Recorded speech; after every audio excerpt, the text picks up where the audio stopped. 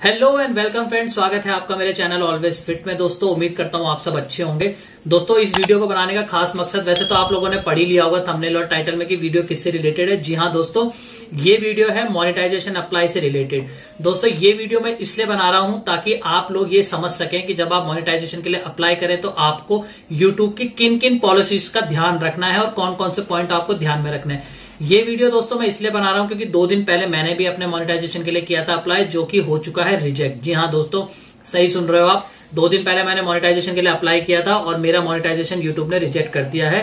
तो वो मैं आपको आज बताने वाला हूँ कि मेरा मोनेटाइजेशन एक्चुअल में क्यों रिजेक्ट हुआ है। उसके लिए मैं आपको अपनी स्क्रीन पे लेके जाऊँगा, पूरे वहाँ पे मोनेटाइजेशन की पूरी पॉलिसीज़ बताऊँगा, पूरे सब कुछ स्टेप बाय स्टेप आपको बताऊँगा कि क्यों आपका यूट्यूब जो है मोनेटाइजेशन को रिजेक्ट कर देता है और किन किन बातों को रखना है आपको ध्यान। देखिए दोस्तों, मैं आपके साथ में ये वीडियो इसलिए बना रहा हूँ क्योंकि मैं चाहता हूँ कि जो मेरे साथ हुआ है वो आप लोग के साथ ना हो, इसलिए मेरा फ़र्ज़ बनता है कि मैं आपको इसकी पूरी गाइडलाइन समझाऊं। तो चलिए दोस्तों वीडियो को ज़्यादा ना लंबा करते हुए लेके चलता हूँ अपनी स्क्रीन पे आपको, वहाँ पे मैं आपको अपना यूट्यूब स्टूडियो दिखाऊँगा और यूट्यूब स्टूडियो में आपको दिखाने के बाद में मैं बताऊँगा कि वहाँ पे मोनेटाइजेशन का जो रीजन है, वो यूट्यूब ने क्या दिया है और हमें किन किन पॉइंट्स का रखना है ध्यान। दोस्तों, सबसे पहले आपको अपने चैनल के यूट्यूब के जो डैशबोर्ड है, उस पर आ जाना है। उस पर आने के बाद आप देख सकते हैं, यहाँ पे नीचे की साइड में आपका एक मोनेटाइजेशन का ऑप्शन होगा, इस पर आपको क्लिक कर देना है। क्लिक करने के बाद आपको साफ़ साफ़ दिख रहा होगा चैनल मोनेटाइजेशन में कि your channel was not accepted for the monetization मतलब मेरा चैनल मोनेटाइज नहीं हुआ है, क्योंकि ये मेरा जो चैनल है, वो यूट्यूब मोनेटाइजेशन पॉलिसीज़ में फॉल नहीं करता है। और जिस वजह से मेरा मोनेटाइजेशन मतलब यूट्यूब ने रिजेक्ट किया है, उसका यूट्यूब ने रीज़न दिया है री यूज़ कंटेंट दोस्तों री यूज़ कंटेंट में साफ़ साफ़ लिखा है channel uses someone else content without making changes that add significant value मतलब री यूज़ कंटेंट उसको कहते हैं दोस्तों कि आपने किसी का भी यूज़ किया वो कंटेंट पहले जैसे मतलब किसी के चैनल से उठा के सिर्फ़ अपने चैनल पर डाल दिया और उस पर आपके लाइक्स वगैरह आ गए हैं मतलब कि काफ़ी व्यू आ गए हैं. बट जब आप उसको मोनेटाइजेशन के लिए अप्लाई करने जाएँगे तो यूट्यूब उसको रिव्यू करेगा और आपका मोनेटाइजेशन रिजेक्ट हो जाएगा। क्योंकि आपने किसी और का कंटेंट अपने चैनल पे यूज़ किया है, आपका उसमें कोई रोल नहीं था, आपकी उसमें कोई मेहनत नहीं थी, बस आपने जस्ट उठा के अपने चैनल पर डाल दिया है। तो ये रीयूज़ कंटेंट 99 परसेंट लोगों का यही आता है। आप देख सकते हैं, नीचे मैं आपको दिखा देता हूँ थोड़ा सा, यहाँ पे मेरे जो पब्लिक आ रहे हैं, ये भी यूट्यूब ने डिलीट करके 105 कर दिए जो कि यहाँ पे तिरपन थे। ठीक है दोस्तों? तो अब आपको क्या करना है? कि हम चेक करेंगे कि यूट्यूब की पॉलिसीज़ क्या क्या है, हमें किस किस चीज़ों का ध्यान रखना है बिफोर अप्लाइंग द मोनिटाइजेशन तो चलिए दोस्तों, अब यहाँ पे यूट्यूब मोनिटाइजेशन पॉलिसीज़ के बारे में कुछ लिखा गया है, इसको पढ़ लेते हैं। तो ये सब आपको छोड़ देना है, ये सब आपको कुछ नहीं देखना है, जो मेन हमारे काम की चीज़ है, वो यहाँ है कि what we check when we review यार चैनल कि हम आपके चैनल में क्या चेक करते हैं, जब हम रिव्यू करते हैं चैनल को। तो दोस्तों, इसमें सबसे पहला पॉइंट आता है मेन थीम कि आप अपने चैनल का आपका थीम क्या है? कि आपका चैनल फिटनेस से रिलेटेड है टेक्निकल है, कॉमेडी है, कुकिंग चैनल है, क्या है, कि आप अपने चैनल में बना क्या रहे हैं? तो अगर आप अपने चैनल पे कोई एक थीम बनाते हैं तो दोस्तों उसी को कंटिन्यू करिए। उल्टा पुल्टा आपको कुछ भी नहीं करना है। जो अगर आप कंटिन्यू रखना चाहते हैं, अगर आप जिम की वीडियो बना रहे तो आप जिम बनाइए। कुकिंग बना रहे तो कुकिंग का ही कंटिन्यू करिए। ऐसा नहीं कि आपने मतलब पूरा उल्टा पुल्टा कर दिया है।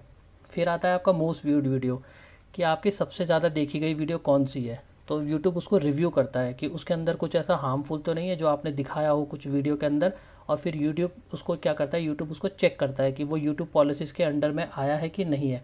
अगर वो यूट्यूब की पॉलिसीज़ के अंदर होगा, तब तो यूट्यूब उसके साथ में कुछ नहीं करेगा। अगर वो यूट्यूब पॉलिसीज़ में फॉल नहीं कर रहा होगा तो यूट्यूब उसका सारा वॉच टाइम रिव्यू और व्यू वगैरह सब ज़ीरो कर देगा।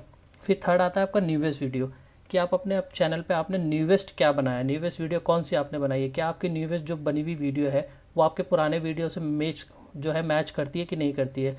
तो वो उससे रिलेटेड होना चाहिए। ये नहीं कि आपने चार वीडियो पिछला बनाया है, आपने ब्लॉग का, चार आपने बना दिया कॉमेडी का और नए में आप बना रहे हैं कुछ और। तो वो चेक करेगा कि आपके पुराने वीडियो क्या आपके नए वीडियो के साथ में रिलेटेड है कि नहीं है। तो आपको इस बात का भी ध्यान रखना है। फिर आते हैं दोस्तों, चौथे पॉइंट पे biggest proportion of watch time कि आपका कौन सा ऐसा वीडियो है जिससे आपको सबसे ज़्यादा वॉच टाइम मिला है? कहीं आपने उसको व्हाट्सएप पे शेयर तो नहीं किया है? क्योंकि लोग क्या करते हैं दोस्तों, कोई भी वीडियो बनाने के बाद उसको व्हाट्सएप फेसबुक ट्विटर अपने इंस्टाग्राम हैंडल पे भी आपका लिंक शेयर कर देते हैं। तो आपको ये गलती कभी नहीं करनी है। आप जितना एक्सटर्नल सोर्स कम रखेंगे, आपका वीडियो उतना ही अच्छा चलेगा। आपको बस एक बहुत अच्छा सा एस e कर देना है टाइटल थंबनेल टैग्स वगैरह अच्छे से लगा देने उसी में आपका काम हो जाएगा। फिर आते हैं दोस्तों लास्ट पॉइंट पे वीडियो मेटा डेटा ये दोस्तों सबसे ज़रूरी पॉइंट है। चार ये पॉइंट जो स्टार्टिंग के थे, ये तो कोई भी फॉलो कर लेता है। बट जो वीडियो मेटा डाटा है दोस्तों, इसे हमें बहुत ध्यान में रखना है। ये ये बताता है दोस्तों वीडियो मेटा डेटा कि आपका जो टाइटल और थंबनेल है वीडियो का तो जो वीडियो होगा वो उसी से रिलेटेड होना चाहिए। ये नहीं कि आपके टाइटल और थंबनेल में कुछ और लिखा हुआ है और वीडियो आपने कुछ ही और चीज़ का बना दिया है। आपको जो भी करना है, आप टैग सेक्शन में करिए, अपने टैग सेक्शन में टैग लगाइए, बट आपका जो टाइटल और थंबनेल है और डिस्क्रिप्शन है वीडियो का, वो सेम होना चाहिए। अगर आप कोई कॉमेडी वीडियो बना रहे हैं तो कॉमेडी वीडियो से रिलेटेड होना चाहिए, और अगर आप कोई टेक्नोलॉजी से रिलेटेड बना रहे हो टेक्नोलॉजी से रिलेटेड उसका टाइटल और थंबनेल होना चाहिए।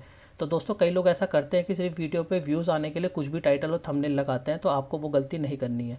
अगर आप इन पाँचों पॉइंट का ध्यान रख लेते हैं और इन सब में फॉलो करते हैं तो आपका चैनल जो है ईजिली मोनिटाइज हो जाएगा। बट अगर आप इन पाँचों पॉइंट में से किसी एक में भी कुछ गलती कर देते हैं तो यूट्यूब आपका जो मोनिटाइजेशन है, वो रिजेक्ट कर देगा, और जो आपका सपना है यूट्यूब से पैसा कमाने का, वो बिल्कुल धरा का धरा रह जाएगा। तो दोस्तों, मेरी आपसे यही अपील है कि आप इन पर कोई गलती ना करें। इन पाँचों पॉइंट को फॉलो करें। मेरी तरह आप गलती ना करें। तो दोस्तों, उम्मीद करता हूँ कि आपको ये वीडियो बहुत ही ज़्यादा इन्फॉर्मेटिव लगी हो। और अगर आपको ये वीडियो पसंद आई हो तो प्लीज़ इसे लाइक शेयर और कमेंट करें। और अगर आपको कोई क्वेरी हो तो आप कमेंट बॉक्स में पूछ सकते हैं। और अगर आप चैनल पर नए हैं तो चैनल को प्लीज़ सब्सक्राइब कर दीजिए। Thank you so much